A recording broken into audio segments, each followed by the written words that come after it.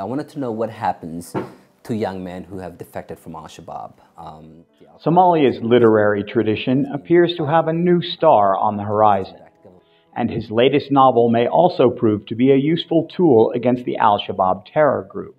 Hassan Ghedi Santur is a Somali Canadian residing in Toronto. So are his main characters in his book, The Youth of God. Noor, the youth of the title, is a first generation Somali in Canada. He experiences some bullying due to his cultural identity, but also yearns to fit in. There is a tug of war between his biology teacher, Mr. Elmi, who encourages him to assimilate, and Imam Yusuf, who wishes to give Noor religious education that interests him. While there are many interesting twists and turns to the story, and other significant characters, including Elmi's wife, as he approaches adulthood, Noor is recruited by the Imam to join the Al Shabaab. It is certainly a novel that addresses an important current topic with both nuance and bravery. Recently, another Somali writer gained some much deserved acclaim. Two years ago, Nadifa Mohamed was shortlisted for the prestigious Booker Prize.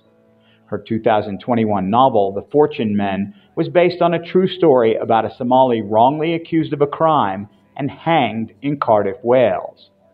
Nadifa was the first British Somali to be shortlisted for the honor. Santur's novel was first published in 2019 and won him the Pius Adesanmi Award for African Writing. It is getting new attention because of its subject matter. This should be required reading for Somali high school students in the country and in the diaspora facing challenges of trying to fit in, making ends meet, satisfying parents or mentors, or just finding their place in society.